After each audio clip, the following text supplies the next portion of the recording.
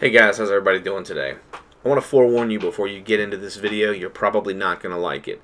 If you're watching this point of it, you probably found it on my channel, you've got it in a search result somehow, or for some reason you started this video at the beginning. And really this is a VR to a video I shot a few years ago. I keep getting a lot of specific questions on that last video that I'm tired of answering over and over again. So what I'm doing here is making a video response and I'm going to link this response on that other video. Basically, just since you've clicked on the video, I'll tell you what ended up happening was I built um, a walking stick a few years ago, and I made it out of carbon fiber. I get a lot of great comments, a lot of positive feedback and support on it, but every once in a while some guy bubbles to the surface warning me about the dangers of exploding carbon fiber. And I'm really tired of answering the question over and over again. So what I'm doing is I'm going to do a video response, link it, and they can come here and watch it. Um, what I'm going to do, you're more than welcome to stick around and hear what I have to say because it's kind of a little emotional rant, so I'm probably going to get a little pissed and I might even drop a few F-bombs. So if you're curious and want to stick around, by all means, it's going to fade out to black, fade back in, and then I'm going to start my response.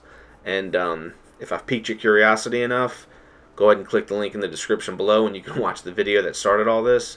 But I have to warn you, I wasn't really that good at making videos. I was kind of long-winded and it was so-so. Um, you know, it's not not one of my best work. I'm not saying I'm you know J.J. Abrams or Scorsese or anything like that today, but if you watch my current videos, you might get a good laugh out of that. And again, I'm warning you, it's long-winded. You know, you can watch it, you better be ready. It's like 20, 30 minutes long, something like that.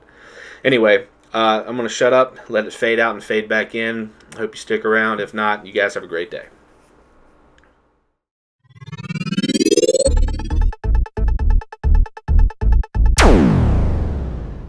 Hey guys, well, if you're watching this video, that's because you either A, click the link on the Ultimate Survival Staff video and you want to hear my response to the inevitable question, or I've piqued your curiosity in the intro and you're sticking around. Either way, thanks for being here.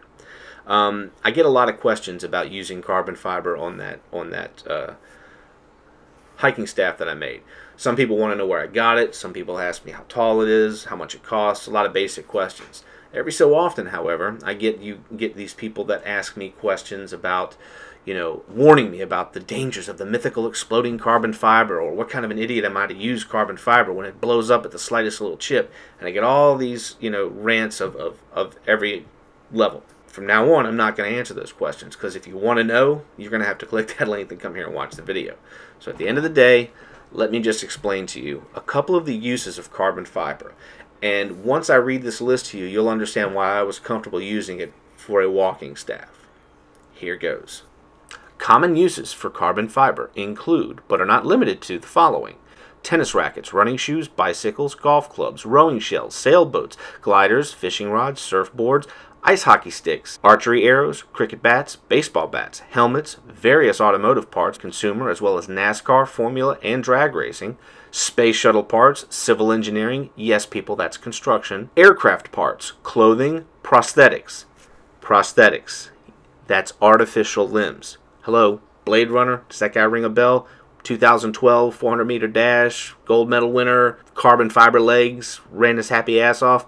He didn't blow up, and he was running 400 meters. The bottom line is Carbon fiber is entrusted for a lot of different uses out there. Yes, there is the possibility of catastrophic failure with carbon fiber. You could find that everywhere. What most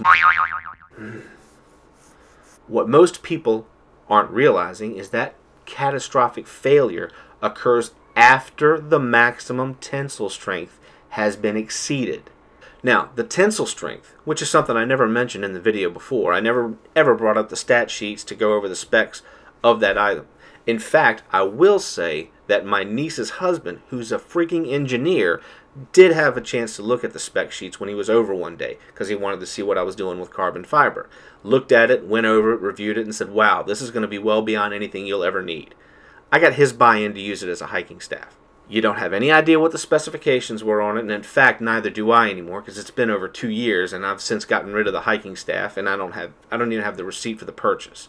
At the end of the day, the piece that I bought was the remnant part of a larger piece that was used in some level of, of construction for supports for something I don't know what the hell it was. The guy said it was it was used as part of a support structure. That's all I know. I trust that it's going to hold two, 300 pound man, large guy walking through the woods. Easy enough. And if you're going to tell me, and if you're confident that your hiking ability runs the same risk as a, let's say, baseball bat that's required to smack a 90 mile an hour fastball off into the distance, or maybe hockey sticks, or automotive parts that get hit all the time, or parts for the space shuttle, or if you're like the Blade Runner and you if you're putting your hiking staff through that level of intense stress when you're walking through the woods, you're doing it wrong. All wrong. And, and take a class. Mountain bikes. Nobody out there hiking puts their hiking pole through the same levels of st stress as a guy riding his mountain bike through the mountains, bopping over rocks, jumping off of cliffs, riding over the edge. Now, I'm sure right now somebody out there is Googling pictures and images and, and videos, and they're ready to post all over the place going, well, here's the guy that did this. I'm going to tell you right now your video response, your factoid, your whatever, better be substantiated by hard, concrete evidence to prove that it's going to explode under normal usage when hiking. I don't care about the exploding carbon fiber when two race cars doing 150 miles an hour slapped into a wall, or when a guy using his carbon fiber helmet had his helmet blow up when he was going 150 down the road and ran into a brick wall. I'm talking normal usage. One thing that was left off this list and left it off intentionally because I wanted to highlight it. Hiking poles. Hiking poles. Walk into any sporting goods store and buy yourself a hiking pole. You, you have the option of using carbon fiber. It's not going to explode. Stop pretending it is. Stop trying to prove to the world that you're this genius that's going to go around, you know, fact finding behind everybody. Just because you've got a Google search bar doesn't mean you got the right answers. I'm certain guarantee that you're going to be able to find instances where carbon fiber ha had a catastrophic failure. However, the application you give me an example on better be comparable to the intended use for the item I gave you. Because I don't give, I don't care what kind of X game, ninja, combat, martial arts, hiking you think you do. I promise you, it still doesn't equate to the same level of stress as that carbon fiber is trusted and expected to put up with on most of this list that I gave, that I read to you just a few minutes ago. I'm sorry if I seem emotional, but I get this question all the time, and some of you guys out there are pretty passionate with your answers. Some of you guys I got so irate about it that when I turn around and put you in your place with links, you deleted your comment after the fact. Don't think I don't know it. I read it in the email. It came to me before you deleted it, so I saw it. At the end of the day, guys, I'm sorry if I'm upset about all this, and I'm sorry if you're taking offense to this. If you're just curious and you linked over here, that's fine. But if you're one of those guys who feel like they're Captain Cocky and they can't wait to prove everybody wrong, I'm going to tell you that you're wrong. And you're wrong right now. You know, and if you just came here because you want to know, consider yourself educated. If you came here because you want to prove me wrong, it's not going to work. That's it. Go enjoy the rest of the video. You guys have a great day.